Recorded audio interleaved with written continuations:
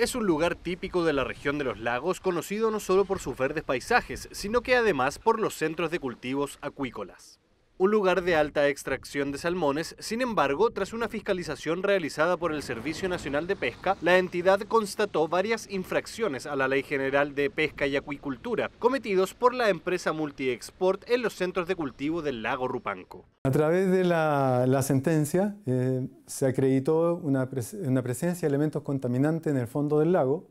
y todo esto se origina en virtud de una fiscalización que hace que hace Pesca en el mes de diciembre del, del año pasado,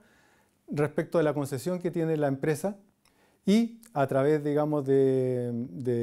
un robot y tecnología de última punta se pudo determinar a través de registros fotográficos que habían restos de actividad de, de piscicultura que estaban afectando el fondo del lago. Con ayuda de un robot submarino se divisó en el fondo lacustre del lago residuos principalmente de plásticos se detectó tanto elementos como restos de material que se usa, PVC, elementos de fondeo, eh, bolsas que se usan para, para darle forma a, a las redes de cultivo, pero también restos de alimentos en el fondo en cantidad importante. De acuerdo a la Ley General de Pesca y Acuicultura, en su artículo 74, en la concesión de porciones de agua, el titular deberá cumplir con la mantención de limpieza y equilibrio ecológico en la zona, mientras que en su artículo 87 se establece la reglamentación de medidas de protección del medio ambiente en la vida acuática. En este caso, la empresa infraccionó ambos artículos. El objetivo de la ley no es impedir la actividad, económica, al contrario, lo que busca es que se realice esta actividad económica pero dentro de ciertos márgenes.